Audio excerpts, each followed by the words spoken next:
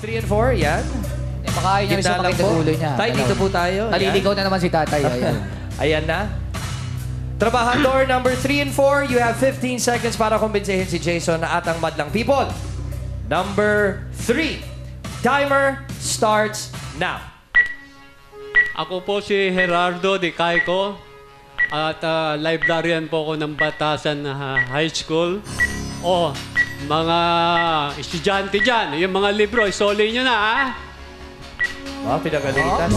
Mukhang marami pang hindi nagbabalik. Oo, mukhang Hindi libro. nagbabalik. Okay, maraming salamat number 3. Ito naman ang number 4. You have 15 seconds para kumbinsihin ulit si Jason at ang madlang people. Timer starts now.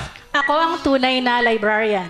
Sa katunayan, 26 years na ako in the service na may PRC license number 2602. Kasalukuyang presidente ng Manila Public School Elementary Librarians Association, DepEd Manila. Maraming salamat po. Wow!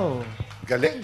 Ayos. Jason, Ayos sa mga na-rehearse nyo. maraming Ayan. salamat. Number Maraming 3 salamat, and 4. Trabador Balik na kayo sa pwesto nyo. Ayan na, Jason. Oh. Narinig mo na ang kanilang talumpati. Kanino ka ba mas nangumbinsi o nakumbinsi? Pero bago mo sabihin ang iyong final trabaho hula, eh tingnan muna natin kung ano ang opinion ng ating mga madlang people. Okay, Madlang paano- people, hula nyo, show nyo. Karamihan number 4.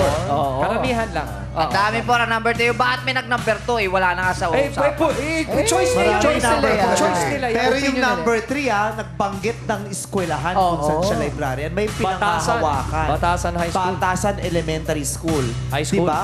Correct. High Paano school. siya magkakaroon ng ganong kalakas ng loob na gamitin yung pangalan ng eskwelahan niya kung hindi naman totoo? Oo nga. May isa, may plate number. May number. Hindi, plate, plate case- number. Case number yung case number. May number, kaso may kotse siya. sa live. Kaso, Eto ngayon, Jason, sino na ang final trabahula mo? Ang pagpipilian mo lang ay dalawa. Si Trabador number 3 and 4. Wala na ang 1 and 2, ha? Oh, sige. Sabihin ko na. Oo. Oh, sigurado, sigurado na ho ako. Kanina medyo naguguluhan ng kaunti.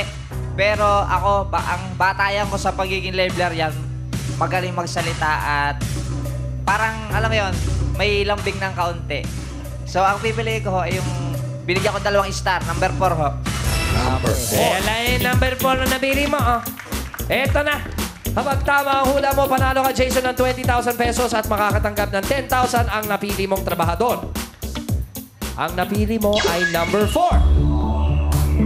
Si trabahador number 4 nga ba